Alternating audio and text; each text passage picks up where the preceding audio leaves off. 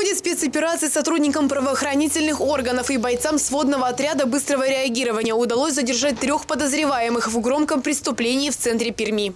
В ходе обысков у них была изъята часть похищенных денежных средств, а также оружие и боеприпасы. В настоящее время полицейскими э, проводятся мероприятия по задержанию еще двух э, подозреваемых.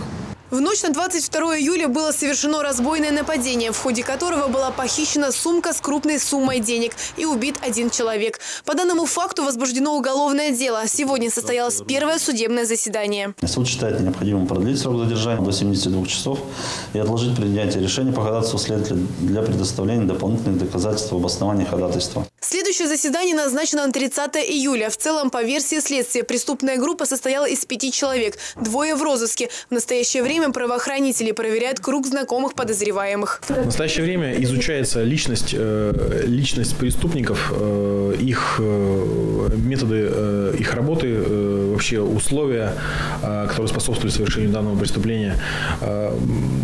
Причины в настоящее время уже выяснены. Это корыстный мотив, то есть с целью завладения данной денежной суммы. Полиция просит граждан помочь в раскрытии преступления. Всем, кому что-либо известно о местонахождении Андрея Радиковича Султанова и Александра Сергеевича Лазенко, оба 80-го года рождения, обратитесь в ближайшее отделение полиции, либо позвоните по телефону 02. Татьяна Александрова, Тимофей Салов, телекомпания «Ветта».